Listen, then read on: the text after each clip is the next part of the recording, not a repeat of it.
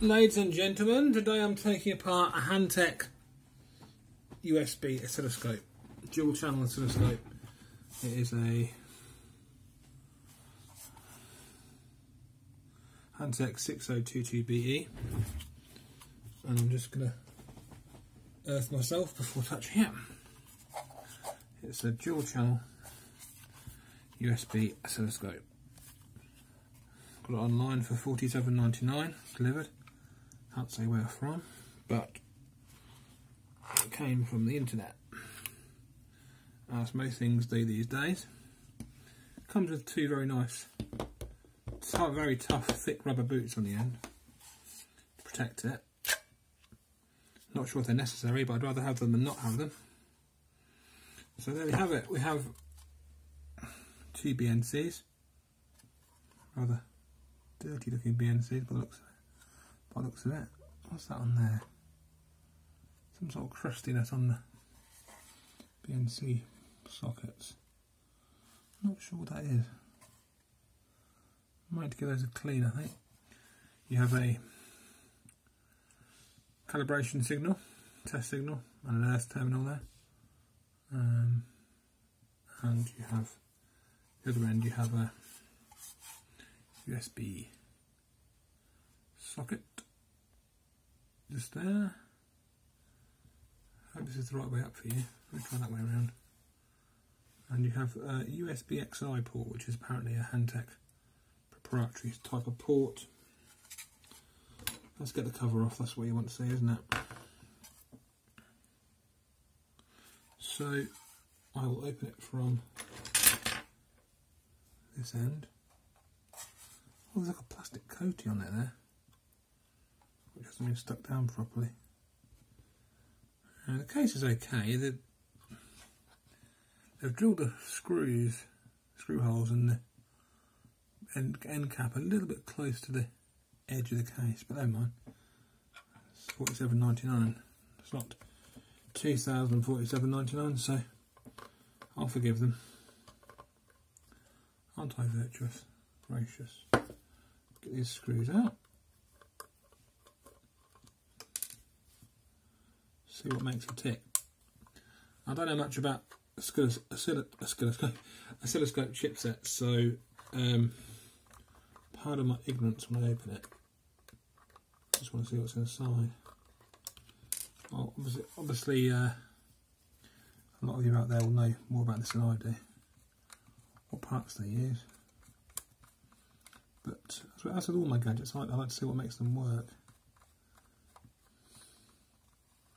I'm not sure if this black plastic fascia coating on the back here is necessary.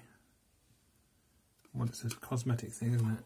It's uh, front's okay. Same same deal on the same deal on the front. They've sort of not quite stuck it down with good good enough adhesive and the holes are drilled very close to the edge but hey whatever whatever it's okay Get the final screw out camera's out of focus thank you camera bit overexposed but I'm not that fussy I'm more interested in getting the content out there than perf perfection and perfect editing so I know people want to see inside stuff. As long as it's not filmed on a potato, as they say, you know. I want to have stuff that's filmed on a potato. Right. So, it's open. And now, I'm try and get the board out. Will it come out?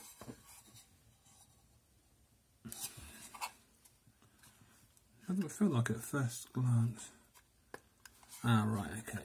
So these BNC sockets are sort of hooked over the edge of the front. They're sort of the edge of the flange of the BNC sockets are sort of catching on the edge of the plastic there. So I've got to let me try and set this exposure right. Lock that. Otherwise, we're going to go over the place. Right, so I'm going to try and get these board out without Maybe I won't. Maybe I'll just take the front off as well. Take the front off. Hmm. There's a hole there for a fan, look. Huh. You see that? Obviously, one of their models or one of their products has a fan in it. I'm not a fan. No, I'm not. I'm a person. Um, yeah, it's uh, it's a good oscilloscope. I mean, it's not it's not got AC coupling on it. There's some sort of mod you can do to it with solid solid state relays and capacitors that I saw on the Open Handtech uh, page, but um, it's not got D, it's not got AC coupling as standard. But I'm personally not sure how that affects me. I suppose if you're measuring it, if you're measuring AC signals, a lot of the time it affects you a lot. But uh, this is brand new. I've just had it about three days, so whatever. Let's get this out.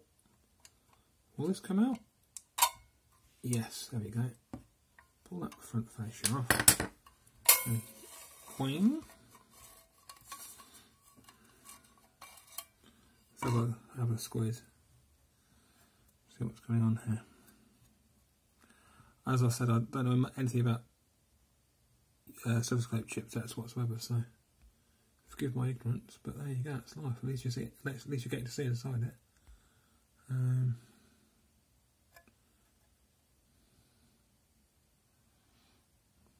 What chipset's that? Get my magnifying glass out and have a look. That is a CY, that's a Cypress I think. Yeah, it's a Cypress CY7 C68013A. Charlie Yankee 7, Charlie 68013 Alpha. Zoom right in, you see for yourself. Get the light right.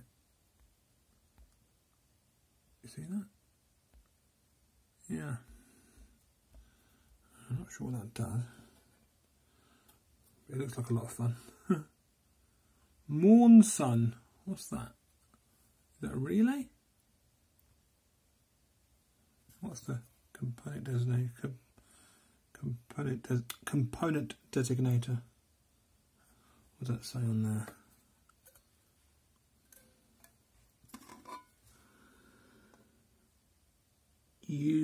U13. So some sort of IC. Hmm. Maybe it's a DC to DC converter. There seems to be a lot of flux residue on this board. Can you see that? There seems a lot of flux residue on there.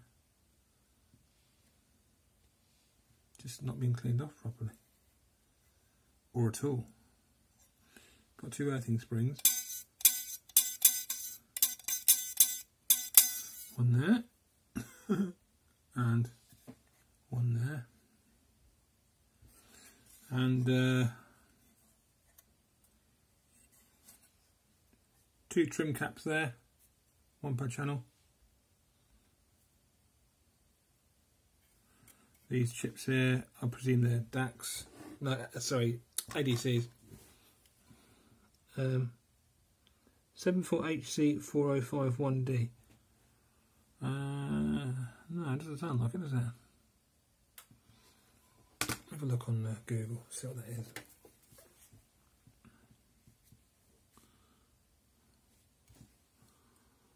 Propaganda, quickly.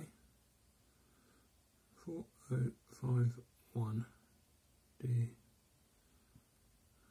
Okay. Multiplexer switch ICs. Ah, right. So on this chip here there's a tiny little heatsink, can you see that there? Just a tiny little heatsink here. Um, lots of unpopulated uh, lands here. An unpopulated chip there.